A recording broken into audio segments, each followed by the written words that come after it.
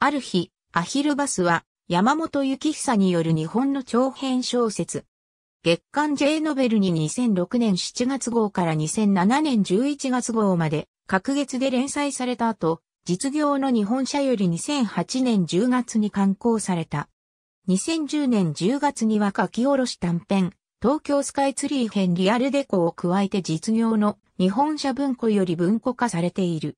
また、続編となる、アッパレ、アヒルバスが、月刊 J ノベル2014年10月号から2015年10月号まで連載され、実業の日本社より2016年9月に刊行された。ある日、アヒルバスを原作としたテレビドラマが NHKBS プレミアムのプレミアムドラマ枠にて2015年7月5日から8月23日まで放送された。東京、月島に本社を置く都内及び近郊の観光バス会社、アヒルバスを舞台に入社して5年になる23歳のバスガイド高松、秀子の奮闘を描く。心から慕っていた先輩社員の転職に落ち込む間もなく、新人研修の指導員を任され、一筋縄ではいかない新人たちの相手はもちろん、ツアー中に盗撮被害に遭うなど、次々と降りかかる問題に、デコが立ち向かっていく。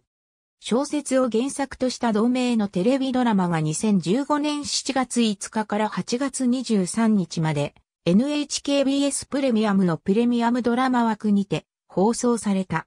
全8話。40歳で出版社をリストラされ恋人とも別れた主人公、朝倉葉月がたまたま観光バス、アヒルバスに乗り合わせたことをきっかけにバスガイドへと成長する物語を描く。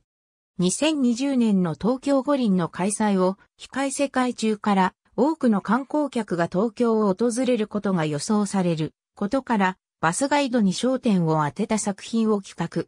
東京再発見をテーマに東京の著名な観光地から隠れた名所までを紹介する。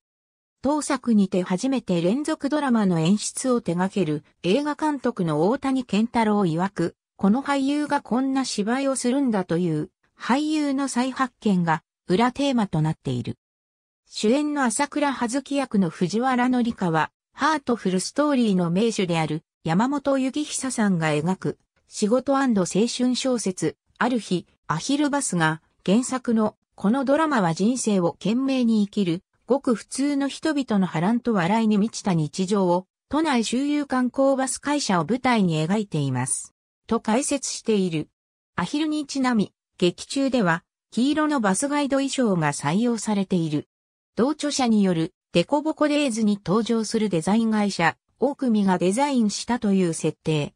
ABCDEFGHIJKL 藤原紀香さん主演、ある日、アヒルバス制作開始。NHK オンライン。2015年4月27日閲覧。藤原紀香、崖っぷち女を熱演。この役に出会えてよかった。オリコンスタイル http コロンスラッシュスラッシュ www.oricon.co.jp スラッシュニューススラッシュ205475スラッシュフルスラッシュ2015年7月13日閲覧。旗本浩二。ある日、アヒルバス、藤原紀香がバスガイド。読売オンライン http www. 読売 cojp カルチャー、TV、トゥヌーズ、2015万703オイト 8T5 万20、HTML2015 年7月12日閲覧。ABCD、底辺なんてとんでもない。ある日、アヒルバスについて、藤原紀香。2015年4月27日閲覧。藤原紀香、バスガイド姿を、披露、とても気に入ってる。オラカンスタイル、2015年5月31日、閲覧。藤原紀香、女40歳がケプチバスガイドを熱演。ある日、アヒルバス主演に、クランクイン。2015年4月26日閲覧。初黒髪トリンドル。恥ずかしい実は、地毛です。日刊スポーツ。2015年4月27日閲覧。トリンドル、レーナ、JK からバスガイドまで年齢不詳の活躍ぶり。オラカンスタイル、2015年7月12日閲覧。秋月整備、NHKBS プレミアム、ある日、アヒルバスの取材会に出席しました。東方芸能オフィシャルサイト、東方芸能。2015年5月31日閲覧。AB、藤原紀香も絶賛。柳ゆりな、秋月整備、バスガイド挑戦し浅草案内。サンスポ、コム、http www.sanspo.com、芸の、ニュース、2015万705、ジオ15兆705億503万 13N1、HTML2015 年7月12日閲覧。三代目、JSB 山下健次郎、藤原紀香の恋人に、自身初の挑戦で、意気込み。モデルプレス。2015年4月26日閲覧。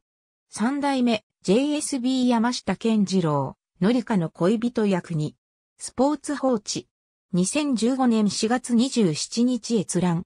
ムームーン、藤原紀香主演ドラマ、ある日、アヒルバス主題歌を担当。バークス、2015年6月19日閲覧。ありがとうございます。